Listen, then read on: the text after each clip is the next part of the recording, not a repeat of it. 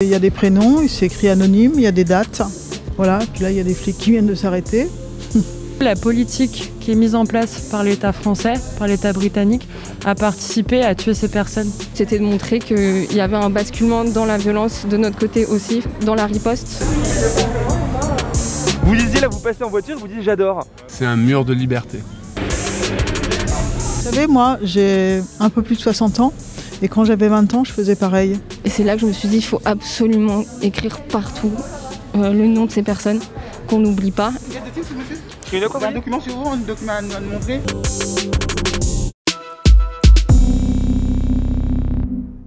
Salut l'internaute, c'est Jemil. Nous sommes ce soir à Paris, dans le 11e arrondissement, rue Bouvier. Derrière moi se tient un petit groupe de militantes et de militants, des colleurs et des colleuses, majoritairement des femmes, qui ce soir se réunissent euh, en collectif pour pouvoir faire un mémorial en mémoire des exilés, femmes, hommes et enfants, qui se retrouvent à échouer sur les euh, frontières, notamment la frontière franco-britannique, où des centaines de personnes sont déjà mortes, noyées ou écrasées par des camions, ou de, ou de faim, ou de, ou de soif, ou de... Bref, vous connaissez la chanson. Et donc ce soir, toutes ces personnes vont, ont décidé en fait de créer ce mémorial, un mémorial qui va être pérenne, qui vont venir réparer au fur et à mesure qu'il se, sera détérioré. Et l'objectif est qu'on n'oublie pas ces personnes, ces prénoms, ces histoires, ces personnes, ces parcours qui ont quitté leur pays pour diverses raisons, souvent économiques, souvent la guerre, et se retrouvent en France ou dans d'autres pays, mais là pour le coup c'est en France, échoués sur des barbelés, échoués dans des camps de fortune et au pire, comme on l'a vu la semaine dernière, à mourir noyés comme ces quasi 30 personnes dans la Manche entre Calais et euh, la Grande-Bretagne. Donc on va pouvoir suivre leur action ce soir, poser quelques questions et essayer de comprendre pourquoi elles et ils font ça.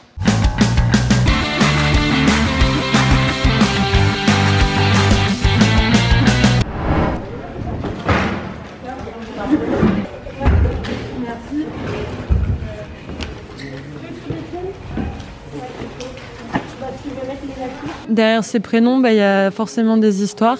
Si ces personnes sont mortes, c'est, enfin, l'État français il est pas pour rien. Elles sont décédées à la frontière franco-britannique. C'est un endroit euh, qui est extrêmement militarisé, qui est très sécurisé et ainsi de suite, et où du coup la politique qui est mise en place par l'État français, par l'État britannique, a participé à tuer ces personnes. Donc ça va de la, ce qu'on appelle la nécropolitique, du fait qu'en fait toutes les personnes euh, exilées qui sont à Calais qui sont à Grande-Sainte, qui sont à la frontière du côté français, en fait, l'État euh, les tue indirectement en, le, en les empêchant d'avoir accès à la nourriture, à avoir accès à l'eau, via des expulsions qui sont quasi quotidiennes. Ce que fait l'État à Calais, c'est une politique de harcèlement. C'est une politique de harcèlement qui est physique, euh, qui est mentale. C'est une démonstration de force à travers euh, des énormes convois policiers. C'est une violence d'État à part entière qui s'appuie sur une politique qui finalement est raciste, c'est ça qui m'a poussé à l'action, c'est que j'ai vu en fait de mes propres yeux ce qui, se faisait là-bas. Et c'est pas juste des paroles militantes, c'est vraiment une réalité qui est vraiment euh, puissamment violente. Quoi. Il y a un ras-le-bol tout simplement, euh, de manière générale, de l'impact des frontières et de la politique d'État euh, sur les personnes exilées. Et on aimerait visibiliser bah, toutes ces personnes qui, malheureusement ont été euh, effacées de l'histoire euh, de manière générale. C'est intéressant le mot effacées parce qu'en plus d'être mortes, elles sont invisibilisées. Est-ce que c'est ça en fait l'objectif de ce soir-là? Bien sûr, oui, c'était un chiffre. Enfin, dans les médias, on parle souvent de 27 morts.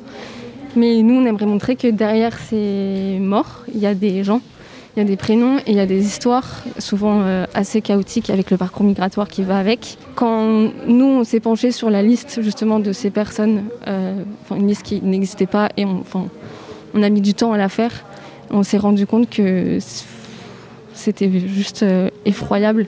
Et même nous, en tant que militants, on a eu beaucoup, beaucoup de mal à faire cette liste parce qu'il y avait un âge, il y avait la nationalité, il y avait les conditions, enfin les circonstances de, du décès.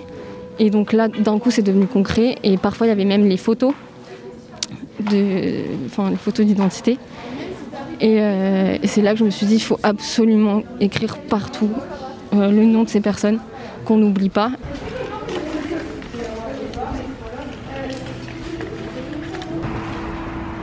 Le but là, c'est que ça reste longtemps. On va revenir coller si c'est arraché. Il y avait la question de la violence qui s'est soulevée dans le groupe. On voulait coller avec du verre pilé. Et euh, on voulait, justement, on est tous habillés tous et toutes euh, habillés en noir. Et euh, le but c'était de montrer qu'il y avait un basculement dans la violence de notre côté aussi, dans la riposte en fait, face à la violence d'État. Et euh, qu'on en avait marre de coller euh, et que ce soit quelque chose qui est banal, enfin un outil qui est devenu assez banal. Donc euh, à voir, parce que euh, malheureusement la majorité n'était pas d'accord là-dessus, puisque c'est un procédé qui est utilisé euh, par euh, l'extrême droite. On n'a pas opté pour ça, mais ça ne nous empêchera pas de revenir et de réinventer d'autres procédés qui, qui répondront à cette violence d'État. Là, on voit parce que euh, il y a d'autres collages derrière que vous recouvrez, mais Mais on les a déplacés, tout simplement, juste à côté là-bas, parce que tout simplement ça se fait pas et que on est pour la cause féministe évidemment. On a prévenu Collage Féminicide Paris, évidemment, et euh, ça a été discuté euh, en groupe. Voilà. donc il y a- y, une collaboration. Finalement, les luttes ne s'opposent pas. Non, bien sûr, d'ailleurs c'est- un procédé qui a été repris euh, de Collage Féminicide Paris. C'est juste pas la même couleur, pas le même format, parce qu'on écrit trois lettres par feuille pour se différencier. Mais évidemment, euh, oui, on prône l'intersectionnalité et, euh, et on, on est en lien avec eux, et, enfin avec LE, pour euh, pouvoir euh, euh, organiser des actions euh, de grande ampleur.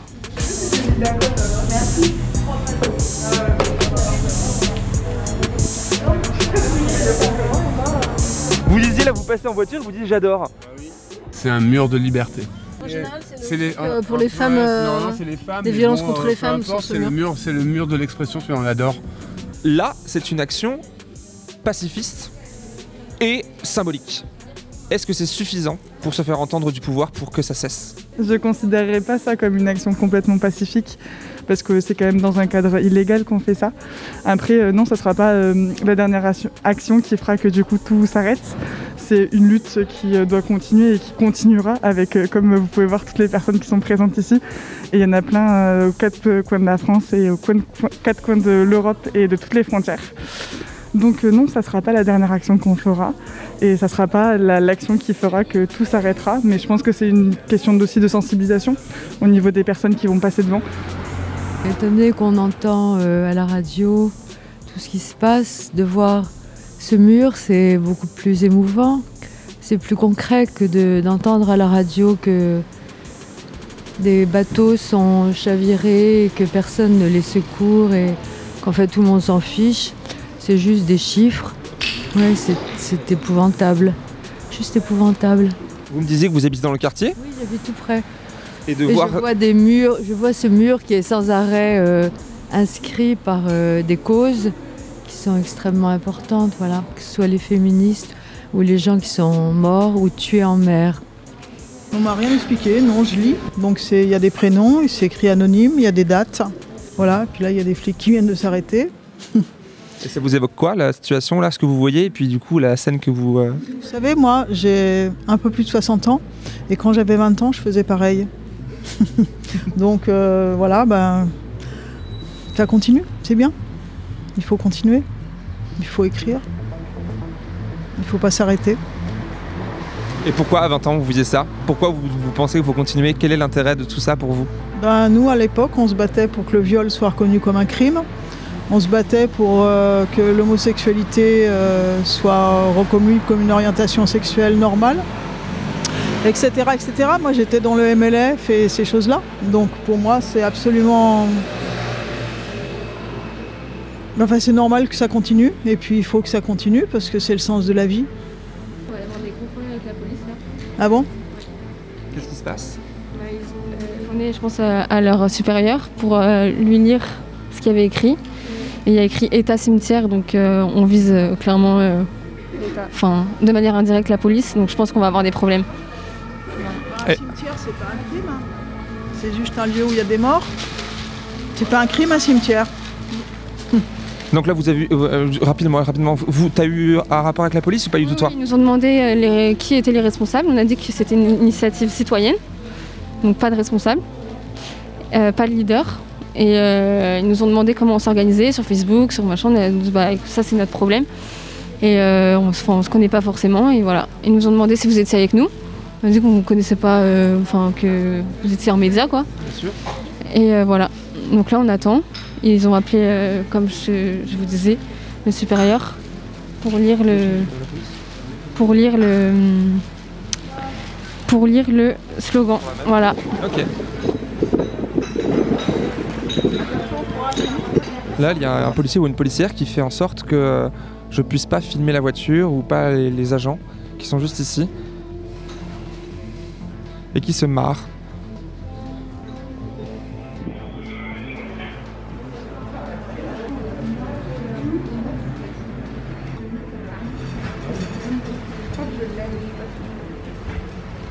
Monsieur, vous avez déjà demandé pour le plus C'est mon droit, je connais mes droits. Mais vous inquiétez pas, il n'y a pas de- y a pas d'a- y a pas d'agression. Je filme simplement. C'est pas ça, vous dire que si vous en fait, nous on sera foutés quoi. Ah non, non, non, non, non, la loi sur le floutage n'est pas passée. Euh, du coup, pas de floutage. La loi n'est pas La loi n'est pas passée, c'est mon droit. Il y a la circulaire du 23 décembre 2008. Ils nous ont euh, observés, puis ils nous ont demandé euh, qu'est-ce qu'on faisait, qui on était. Bien sûr, on est, euh, c'est une action citoyenne où tout le monde est indépendant et indépendante. Ils ont relevé mon, mon- mon identité. Euh, ça va être dans, c'est leur système de procès-verbaux. On sait très bien qu'est-ce qui se passe dans leurs procès-verbaux. On sait très bien qu'ils mentent. Et euh, ils ont relevé mon identité. Et, Pourquoi ton identité à toi? Ils sont venus à toi naturellement? Euh, un peu, on va pas se mentir. Je me demande petit contrôle au faciès, ça fait toujours plaisir. Et euh, ils ont pris mon numéro de téléphone et c'est pour euh, remplir leurs procès-verbaux comme ils m'ont dit. Donc euh, on verra bien si on va être convoqué ou une amende.